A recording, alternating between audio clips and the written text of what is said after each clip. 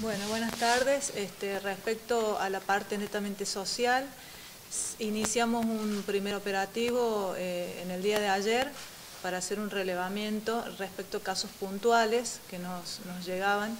eh, para poder asistir a esos casos puntuales en algunos barrios. Eh, fuimos, asistimos, llevamos alimentos, llevamos este, frazadas, sobre todo todo lo que es abrigo, calzado, y en el día de hoy eh, también eh, armamos un buen equipo de trabajo interministerial en donde estuvimos asistiendo casos eh, de vulnerabilidad extrema en distintos barrios periféricos y, estuvimos asistiendo conforme también a puntualmente casos que nos llegaban a, través de distintas redes sociales o que nos avisaban al Ministerio de Desarrollo Social si podíamos asistir eh, bueno, ahí estuvimos eh, con el equipo interministerial que se armó. Eh, bueno, gracias a Dios casi todas las situaciones este, que fueron planteadas ya han sido contenidas.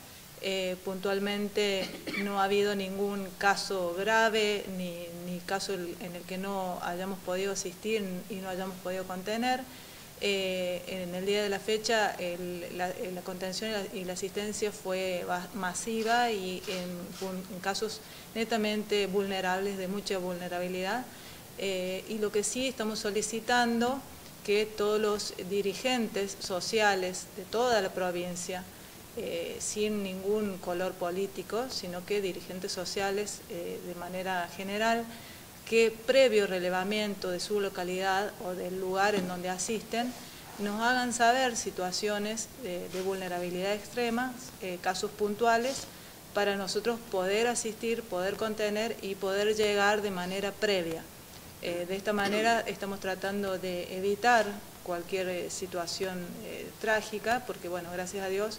el clima no nos ha acompañado en estos días, pero no, hemos tenido ninguna situación que sea considerada trágica, hemos podido contener y necesitamos colaboración de todos los dirigentes sociales para que previo relevamiento, como, como dije recién, eh, nos informen si hay alguna situación, eh, alguna situación particular de vulnerabilidad, nosotros podamos asistir y podamos llegar de manera previa eh, para después no tener que estar lamentando ningún efecto adverso.